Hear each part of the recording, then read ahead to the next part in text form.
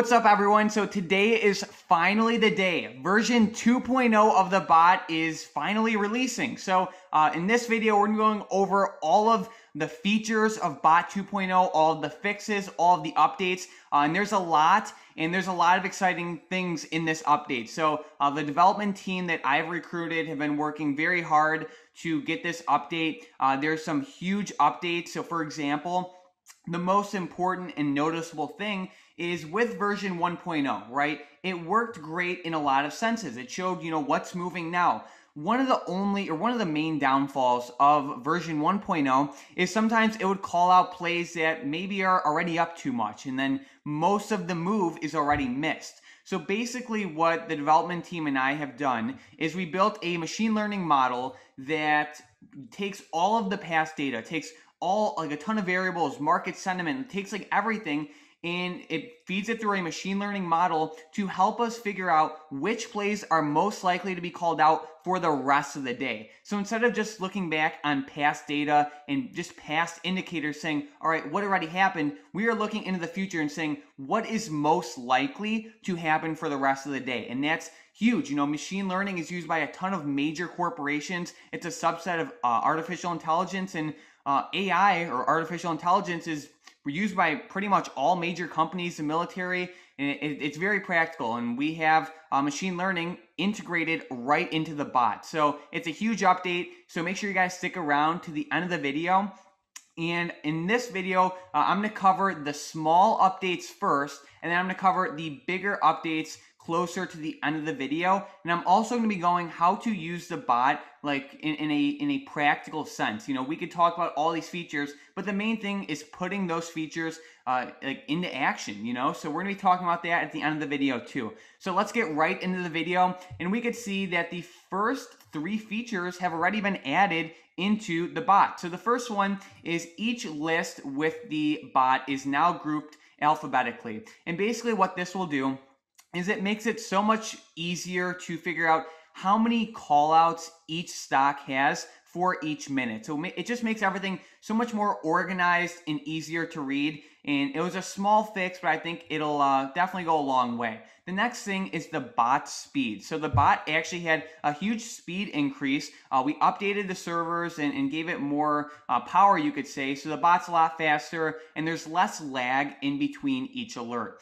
And then the last little minor thing is in bot 1.0, there used to be a little tab right here, just like a little field that said weeklies, right? And basically just indicated that the underlying option was a weekly option, but uh, it was pretty much, there was really no major use for it. So we took it out just to make the user experience just a lot better.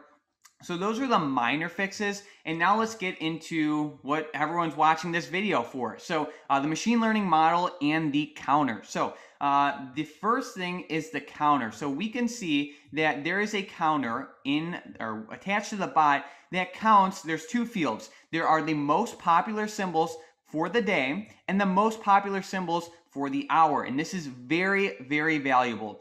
Now, what we well, what I've noticed is um, typically what happens is when a stock is on the most popular symbols tab, you know, after the first hour or two of the day, it normally tends to stay there. So this tab will obviously let everyone know how many how many times the underlying stock has been called out so far for the day. And it pretty much shows everyone what the hot stocks are uh, for each day in a very easy uh, easy easy uh, format you could say. You know, you don't have to go digging through past plays and count how many times each stock has been alerted.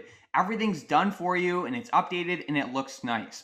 Now, the next thing is the most popular symbols this hour, and I think this is extremely practical. Now, let's say, well, what I've noticed in, in the back testing is if you see most popular symbols for the hour, it really just tells you what's starting to move now because most popular symbols so far for today, um, yes, it, it, gives you great data, but it also it, it lags a bit. It lags a little bit. It's not like it, it predicts the future. It analyzes the past, which gives you great information. Um, but the most popular symbols for the hour, the the, the data is more updated, you could say. So uh, what I've noticed is, and we're going to get into the strategy a little bit later in this video. Uh, just just to know right now, the most popular symbols for the hour it can be great for like trades right now. And like I said, we'll get more into the strategy behind that a little bit later in this video. But now I want to get into the machine learning model. So um, the machine learning model is kind of like the, the star of the show for this update. Uh, was very hard to build and it's, uh, it's definitely useful. So uh, basically we integrated a machine learning model directly into the bot. So, you know, every time a play is posted by the bot. It's ran through this machine learning model, and there's an output given for which stocks the model thinks is best, not like not for the best that already happened today. The model looks at what's best for the rest of the day. So it looks into the future. So we're gonna look at this model um, in one second. So we could see while we look at the model, there are 10 plays posted every minute, okay? And you can see that there's colors next to each play. And we're gonna get into those colors in a second. Um, but basically, what this model does, the machine learning model, it takes all of the data that it had so far up to that day and all of the data it was trained on. And it uses that experience and it, it, it gives its own prediction on what stocks it thinks will be the best for the rest of the day. And the higher the stock is on the list, the more likely the bot thinks that the uh, that the play will be called out for the rest of the day. Now, just because a stock is higher on the list, like for example, just because AMD is higher than DIS, that does not mean that the bot thinks that there will be more AMD calls for the rest of the day. It just thinks it's more likely to to uh, be continued out for the rest of the day. So don't confuse the top of the list with uh, number of callouts. Uh, it, the top of the list um, is all about probability. So the higher it is on the list, the more likely that the underlying stock will be called out for the rest of the day. So now let's get into the colors behind the bot. Um, so, like I said, the, the how the model ranks it in terms of probability, not necessarily the number of callouts, but we can see when we look on this, uh, there are yellow, green, purple, and red squares. And each square has a different meaning. Uh, the yellow square means that if there's a yellow square, it means that like AMD is in the same spot on the list right now as it was on the previous list. So like for example, if AMD was ranked number one on the on the list right here, and it's ranked number one again, it, it gets a yellow square. It's in the same spot. Uh, when there's green, it means that the underlying stock is ranking higher compared to the previous list. If there is a red dot, it means that the stock is ranking lower to the previous list. So, and then a purple square just means that it's new to the list. So in simple, easy to understand terms. Uh, yellow means all right. This this stock held its ground. It's still it, it's ranked the same. You know, it didn't the the rankings didn't really change. Green means hey, uh, the bot's starting to like it more. The red means hey, the bot it, it likes it. You know, it's in the top ten, but it didn't like it as much as it did a couple minutes ago. And the purple means hey, um, this stock just came on my radar and I really like it. So that's how it works and we're going to get into the strategies in this in like one minute, uh, but I just want to explain totally how it works. So the main updates to 2.0 are the counter and the machine learning model, which is right here, right, with the, with the color rankings. Now let's get into the strategy part because look at these tools are great and you know this model is going to get smarter and smarter and smarter and smarter over time just like a person because um, for those of you who don't really know too much about uh, artificial intelligence or machine learning uh, basically the more data the more experience that the bot gets the smarter it gets. It's kind of artificial intelligence is kind of learning like how people do so um, basically the more experience it gets the smarter it gets it's not like it's going to be thinking the same uh, in two months from now than how it's thinking right now. Like in two months from now, its intelligence is going to significantly increase.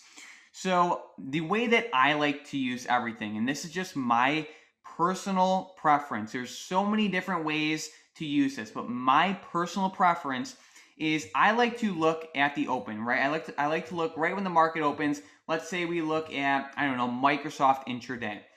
normally what I've noticed is there is there are one to three stocks that are just like really moving right at open. You know, uh, like for Friday's example, Uber was one of those plays. There were a couple, but Uber was one of them. We could see right from the open, uh, Uber had just a lot of momentum. Right, had a lot of momentum, had some big green candles and it just it, it, was running up right it's it's as simple as that it's just running up and it has a lot of momentum so what i like to do is i like to find one to three different stocks that are just really moving uh, so far for the day and i just like to take advantage of the like the, the giant like mass wave of buyers or sellers for that stock so for example, we could see Uber, it was shooting up. There was a ton of people buying the stock. It was shooting up. So basically what I like to do is ride this wave. There are two ways to do this. One, if you catch it early enough, right, um, you can just get in right when it's initially starting to run up, and you can get out pretty quickly. Normally, I like to get I like to get in and out for around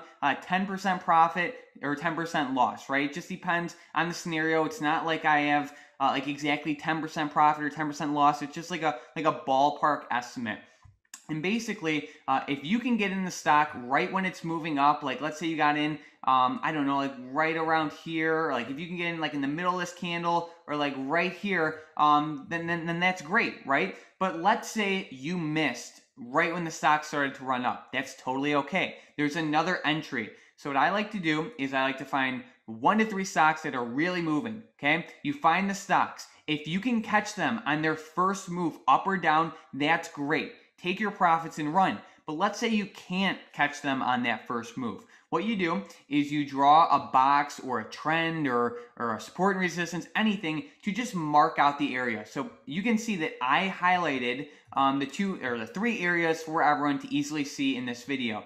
Uh, the first one, actually, let me go into a minute chart just to make it a little bit easier for everyone to see. So if we go onto a minute chart right here, we can see that this this first hand box initi- or uh, it, it like separates the initial uptrend, right? We can see the gray box shows the consolidation and the, the second pink box shows the second uptrend. Normally what happens is when you pick that stock that uh, has a ton of momentum so far at the open, it'll run up, consolidate, and run up again. And the same thing for the downside. It'll fall, consolidate, and fall again. So if you missed the first initial run up, just draw a box of where the resistance is or just a drawback box of, box of the consolidation. In Uber's case, the resistance was right around $43.74. Right when it starts to break out above that level, you can just ride it for the second uptrend. Personally, that's what I like to do. I like to take small losses and small profits. And over time, um, it, it works well. And basically, what this strategy allows is you don't have to trade um, for four hours of the day. Like really, it's really the open. Really, like if, if you do it right, you really only trade for like the first hour, maybe hour and a half of the market open. That's how I like to play it. Um, I've noticed in the beta test group that a lot of people also like to trade um, also like to trade uh, like the ticks up. So for example, in the machine learning model, we can see that the AMD calls yellow, VIX puts yellow, DIS calls uh, yellow, and then we have TSM and LVS calls are green. Basically, what that means in the bot's language is the bot is starting to like TSM and LVS better than it did a couple minutes ago, right? So what people like to do is if they see a green box, if they like they were calling it ladder jumps, you could say, uh, if they see the green box next to the underlying play, uh, some people like that uh, as like a day trade. Um, so there's a lot of different strategies behind it. Um, another thing is like for the most part, right now there's like I said, it's for the most part, not always. If you pick the plays that are most popular, like within like the first hour or like hour and a half of the market open, normally those same plays continue to be the most popular for the rest of the day. So like for example, let's say, um, or even if you just use like the, the most popular symbols this hour, um, if you just pick like some of the most popular symbols, those these symbols are the ones that have just the the most power and momentum with them. Like we could see AMD, right? It was at it finished at the top of the list. AMD calls. We look at AMD calls if you bought an AMD call, basically any point throughout the day, you would have been up. I mean, it, it closed at at, at, highs throughout the day. Like if you bought a call at any point throughout the day, you would have finished up, right? And it was the most popular symbol. Um, you could also look at, let's say, VIX puts, right? If we look at VXX puts, VXX, it pretty much fell all day long. If you bought a put at pretty much any point throughout the day, you would have been up. Let's look at it again. If we look at CVS calls, now this is where the rule there where there's an exception. CVS, it had a powerful huge run up throughout the day, right? Huge run up from market open to about the middle of the day, right? But we can see that towards the end of the day, CVS started to pull back, okay? Now, at the same time, we remember that the uh, most popular symbols, AMD and VIX, uh, those those symbols were working great, right? Uh, they were the most popular symbols, and they finished up. But CVS was also a most popular symbol, but it, it ended up pulling back throughout the day. So CVS could have been a great trade if you caught it early enough. But let's say you didn't. This is why we have the most popular symbols for this hour. AMD, VIX, AMD calls, VIX puts. If you bought those at any point throughout the day, you would have uh, finished up, right? You, you would have pretty much made money if you bought at any point throughout the day. Same thing with VIX. And now let's look at the BABA calls. BABA, if you bought at basically any point throughout the day, you would have been up. So the main thing, the main lesson here is most popular symbols. If you trade these, uh, for the most part, uh, you're, you're most likely going to win if you trade these. However, you just have to be careful because not every single most popular symbol will finish up for the rest of the day, but most of them will. And this is where I come into my point of, look, at the bot works great. The, the machine learning model, it, it, it, it's great right now and it's gonna get smarter and smarter over time. The counter, it's a great tool, right? The bot's very fast now. And and like the main point is that yes, like these the bot is a tool. It's a great tool, but at the end of the day, uh, risk management is more important than anything in the bot's a tool. It's not a, a human being, you know, like for example, like if you see CVS calls being called out, like in the most popular symbol, and you see CVS tanking, then obviously it wouldn't be a good buy. But if you see, for example, um, AMD, VIX, and BABA being called out, and they're constantly breaking new highs, small pullbacks, break new high, small pullback, break new high, that that's a great signal. Uh, same thing with VIX, and then BABA. So there's just like a little bit of um, just understand that, that the bot, it works great. It's a great tool. The machine learning model is great. But ultimately, no matter what you do, you always have to reference the charts. And risk management is more important than anything. Um, depending on what your strategy depends on where your stop loss should be. So, for example, I like to take just around 10% loss, 10% profit for the day trades. That's my personal preference. Some people like to do trailing stops. Some people like to do like set uh, stop levels. Like, for example, let's say they buy an option that's $200. They might put a stop at, let's say, $30, right? And, and then, um, you know, it's, it's, a trailing stop. Some people like to use percentages. Some people like to stop out based on if the stock can break the support or resistance. Like, there's a lot of variables, but no matter what, uh, you should not let uh, your losses get too big because that can ruin everything. You know, like I would say a loss no bigger than maybe 40 or 50%, but it depends on your strategy. Like if you're holding out for 200%, then you might have to have a 50% stop loss or, or 70% stop loss. Um, but the main thing is risk management is more important than anything. Uh, the development team and I put a lot of time and a lot of it, was very hard to to integrate a machine learning model into this bot, but uh, it, it, works great and it's gonna get smarter over time. But the most important thing is risk management is more important than anything. And uh, yeah, that's the main thing. I mean, over time, I'm to add a channel of, of just like a little strategy guide. I'm actually to add a channel today um, uh, of like how to use the bot to its fullest potential in the Discord chat. And um, you know, there's a lot of great things, but risk management is more important than anything else. Uh, hopefully, you guys like uh, version 2.0 of the bot, and I'm very excited for 3.0. So, uh, we're always adding new things to the bot, and uh, feedback is very highly valued from you guys. A lot of you guys requested uh, the alphabetical order, and we got that done. And a lot of people re- um, in the beta test group requested the ranking system, and we got that done. So, uh, feedback is very valued, so thank you guys for everyone who's providing the feedback. We really appreciate it, and we're just going to continue to improve this bot over time. And especially with machine learning, it's just going to get smarter and smarter over time. So if you guys want to try out this bot, you can click the StockedUp options alerts link in the description down below. And if you guys have any questions, let me know in the comments down below. But other than that, thanks for watching.